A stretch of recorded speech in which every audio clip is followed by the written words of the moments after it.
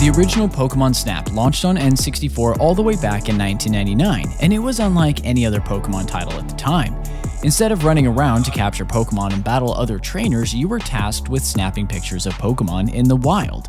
While no one saw this type of spin-off coming, Pokemon Snap ended up being something fans embraced wholeheartedly.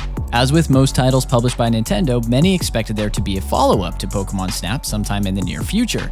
Fans waited, and waited, and waited.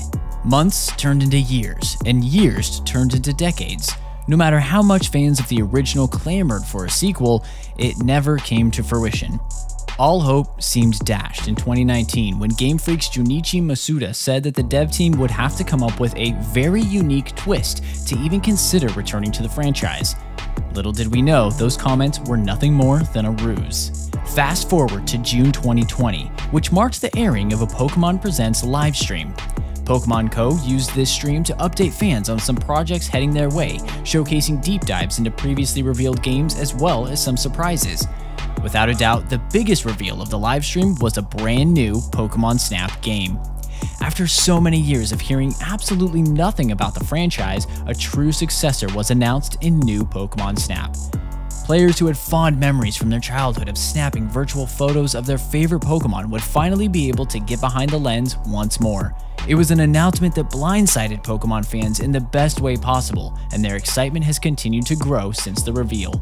New Pokemon Snap will see players travel to the Lental region, where they'll team up with Professor Mirror and his assistant Rita to discover what Pokemon are hiding in the wilds.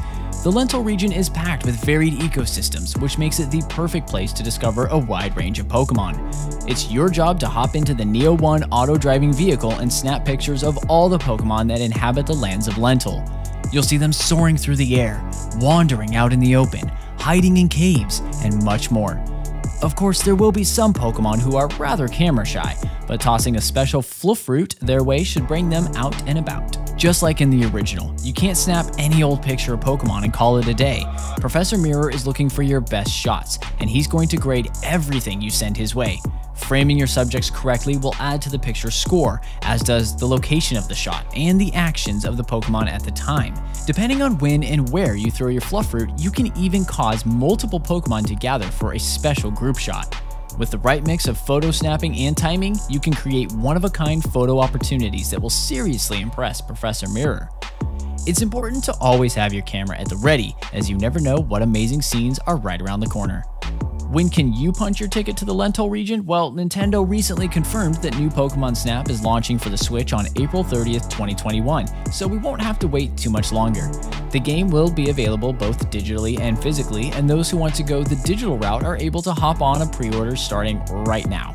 Seems like the perfect time to lock in your purchase, dig your N64 out of the closet, and jump back into the original Pokemon Snap for a bit of practice.